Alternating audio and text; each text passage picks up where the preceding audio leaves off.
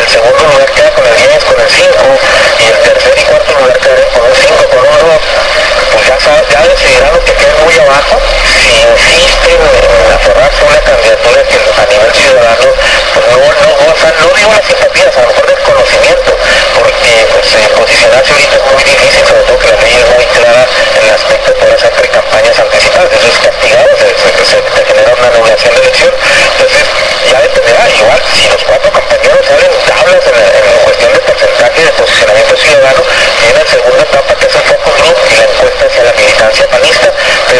o casi todo va, a recaer principalmente en la encuesta ciudadana de que te diga, eh, eso nos va a determinar el siguiente paso en la acción nacional, dependiendo del posicionamiento de los candidatos. El líder panista fue claro en señalar que si aún después de la consulta de la población abierta, algunos de los aspirantes mantienen su posición de buscar la nominación oficial, será una decisión